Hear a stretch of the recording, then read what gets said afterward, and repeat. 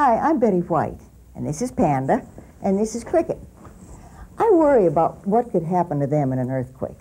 That's why my disaster supplies kit contains extra pet food, water, and any medication they might need.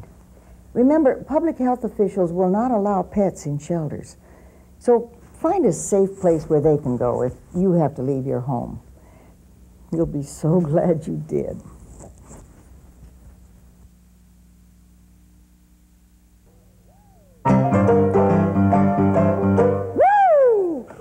Shake, rattle, and roll. Ain't no use denying quakes can shake. Reason I know I live in the quakes and I've been shaking. Storms can rattle and floods can roll you right down the river. Get ready, baby, because it's going to come at a time when you least expect so you can help yourself. Get your plan together and make sure everybody at your place knows exactly what to do when trouble hits and when trouble comes. Face the music, baby. Get ready today.